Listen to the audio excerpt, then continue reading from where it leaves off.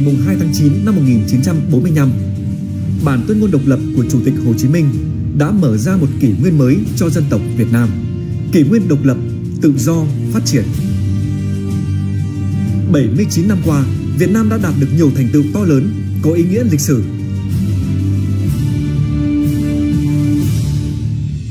Tiếp nối truyền thống anh hùng, Việt Nam hướng tới mục tiêu trở thành quốc gia hùng cường, thịnh vượng, có vị thế quan trọng trên trường quốc tế